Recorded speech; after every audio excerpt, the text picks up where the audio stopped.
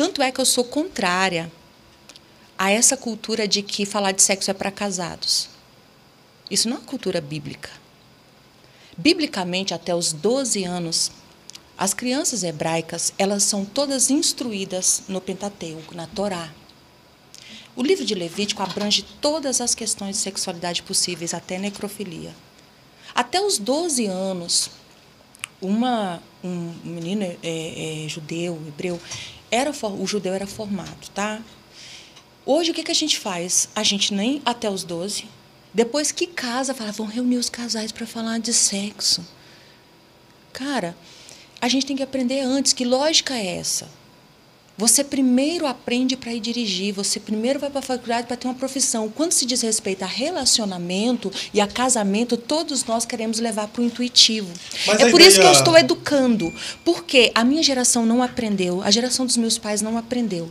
E Deus me disse que é para eu trabalhar há, há seis anos atrás, sete Deus disse: você vai trabalhar pela igreja dos seus netos. Eu estou trabalhando com uma visão transgeracional. Só que para alcançar a igreja dos meus netos, eu preciso alcançar dos meus filhos. E para alcançar dos meus filhos, eu preciso educar a minha geração. Porque é uma geração que não recebeu e também não está dando. Então a gente tem que quebrar o ciclo.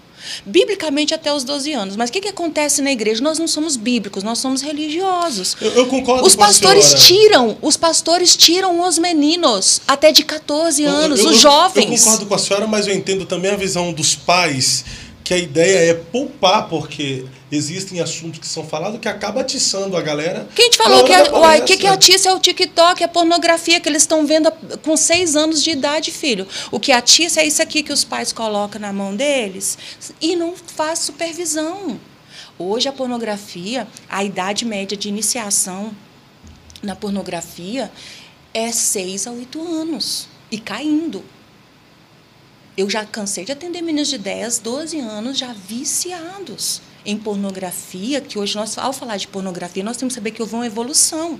A hardcore, essa pornografia digital, onde o menu que está sendo oferecido ali, o, o, cardápio é incesto, pedofilia, sexualização da violência, estupro coletivo, sexo é, grupal e sexo homossexual. Não é daquela de antigamente da revista, da fita que estava lá na locadora. Então, assim, o que, por que, que você acha que atiça? Aprender o certo. Não, não, Os pais acham que atiça. Olha para você ver, a gente está dizendo que a verdade corrompe. Não, a é educação assim, pastora, não corrompe, eu, não perverte. Eu não estou dizendo que atiça na questão de ouvir uma palestra bíblica teológica a respeito da sexualidade.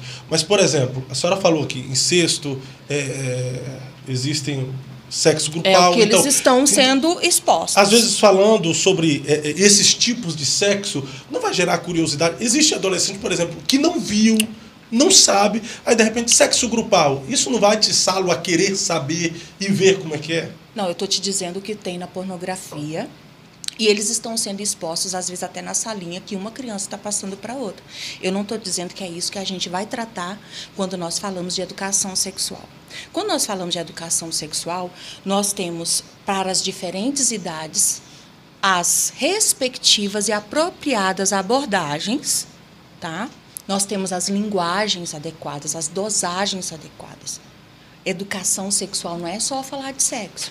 Então a gente vai fazer isso. Agora, biblicamente, era muito mais precoce. Sim. Era ensinado para toda a congregação e não era tirado das crianças. Olha para você ver como a nossa lógica é diferente da bíblica. O pai não fala nada, tá? Mas a pornografia está chegando antes do pai. O coleguinha mostra para o outro, apresenta para o outro. Porque as próprias crianças, os amigos hoje, são essas pessoas que estão transmitindo uns para os outros. Então, nós temos que mudar todas essas lógicas erradas. No que tange a educação às crianças, gente, a educação sexual tem que começar, na verdade, é no berço, no útero. Depois do desfraude é o momento mais importante para os pais, porque a única coisa que pode proteger do abuso é a educação. E esse pai não sabe dar, eu não estou culpando não, porque ele também não recebeu. Mas hoje tem recursos. Quanto à igreja, e aqueles de 12 anos em diante, que já são púberes, que estão na fase da maturação sexual, que vem antes da maturação social. É um desserviço que a igreja faz ao achar que tratar de questões de sexo é só para casados. Questões de sexualidade e sexo é para humanos. Todos nós, é, todas as pessoas estão em desenvolvimento da sua sexualidade, tá? Principalmente os púberes. E a gente tem que aprender antes de casar. É por isso que tem tantas tragédias, tantos problemas acontecendo porque as pessoas não aprenderam. E não dá para confiar que intuitivamente vai dar certo, tá? Uma vida sexual saudável não é ganhar um na loteria. Não é um golpe de sorte, é um aprendizado. E não há essa preparação. Depois ah, vão reunir os casais e tal. Então hoje eu tenho trabalhado e muitos líderes têm entendido que nós temos que levar os solteiros também. Porque o errado, olha, eu vou te falar uma coisa. Não vamos ser ingênuos, não. Sim, claro, fica à vontade. o errado, eles já absorveram. Hoje é mais difícil evitar a pornografia do que acessar. A pergunta que um pai tem que fazer hoje não é se o filho verá a pornografia. A pergunta é o que ele vai fazer quando ele vir essa pornografia. Ah, verdade. E o que ele vai fazer tem muito a ver com como essa criança foi imunizada, foi vacinada, né? Porque a Bíblia, ela tem um efeito imunizante. Por isso que a Bíblia diz: como purificará o jovem o seu caminho? Observando-se, né? Segundo a palavra do Senhor, tá?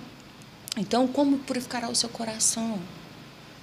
É o Salmo 119, gente, tá lá os versículos. Nós, nós temos que, nós não podemos evitar que nossos filhos sejam expostos ao mal. Então, existe o princípio da vacina, que eu estou tentando dizer. Você vai lá, você pega seu menino, seu neném, tem dois, fui lá, deixei enfiar agulha neles. Por quê? Porque eu era ruim. E tem todos aqueles é, efeitos né, colaterais, reações, etc. Por quê, gente? Porque eu não podia protegê-los das bactérias, dos patógenos, dos vírus. Mas graças a Deus existia a vacina. O que tem acontecido? Tem pais que acham que o papel deles é proteger os filhos do mal. Nós não temos esse poder. O que nós podemos fazer é aplicar a palavra de Deus e crer no poder imunizador da palavra de Deus. Entendi. Mas muitos pais não acreditam nisso. Porque até quando a gente vai ensinar a palavra de Deus, eles acham que é isso que vai atiçar os meninos. Sendo que, que mundo é esse que esse menino está vivendo? Esse menino, se ele vê o TikTok, é uma pornografia soft. Sim. O Instagram, meu filho também usa, minha As... filha, eles estão, não adianta, é uma sociedade hipersexualizada. As redes sociais ela é totalmente sensualizada, né? Não, hoje nossa cultura, eu costumo dizer, é uma cultura, nós vivemos na pornocracia. Nós, nós vivemos uma cultura pornocrática, um regime pornocrático. Nós vivemos uma pornocracia, tá? Hoje o ideário, as músicas são pornográficas. A pornografia, além da hardcore, a digital, nós temos a musical, né? Nós temos essa essa essa aí da a, enfim, de todo tipo. Não tem quem hoje fazer, ah, mas eu não vejo. Todos nós vemos. Graças a Deus nós não somos viciados nessa que é a hardcore, que é, que é a explícita, que é a digital, mas nós estamos o tempo inteiro expostos a essa hipersexualização. Por isso que se nós não né? vigiarmos nossos olhos, entendeu? Se Deus não, não tivermos nossa mente purificada, nosso olhar, nosso, como a Bíblia diz, né? se seus olhos forem trevas, todo o teu corpo estará em trevas. Se seus olhos forem luz, todo o teu corpo terá a luz.